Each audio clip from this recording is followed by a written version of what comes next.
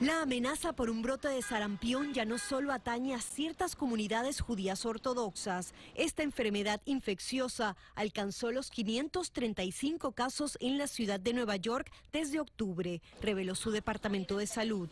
De ellos, al menos 12 se registraron en Sunset Park en Brooklyn, donde hay un gran porcentaje de hispanos.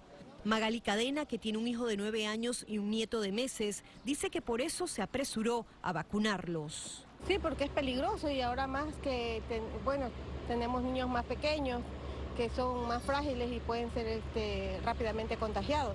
Pues sí, es algo preocupante hoy en día.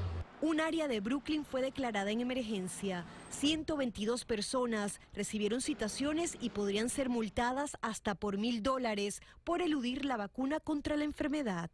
Uno de los peligros del sarampión es que puede provocar visitas a una sala de emergencias. Según las autoridades de salud de la ciudad de Nueva York, 40 personas han sido hospitalizadas y 11 de ellas han ingresado a una unidad de cuidados intensivos por complicaciones.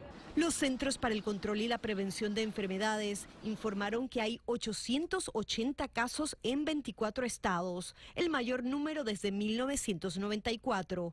Varios estados habrían amenazado con impedirle a los contagiados que viajen en avión. El asambleísta Félix Ortiz, que representa a Sunset Park, está de acuerdo con la prohibición. Si yo como individuo eh, tengo conciencia y tengo sentido común y tengo responsabilidad y siento que tengo este, esta epidemia en mi cuerpo, no debo de estar montándolo en un avión y, ni en los eh, trenes subterráneos ni en, las buses. Las autoridades de salud insisten en que vacunarse es la mejor manera de prevenir el contagio. En la ciudad de Nueva York, Peggy Carranza, Univisión.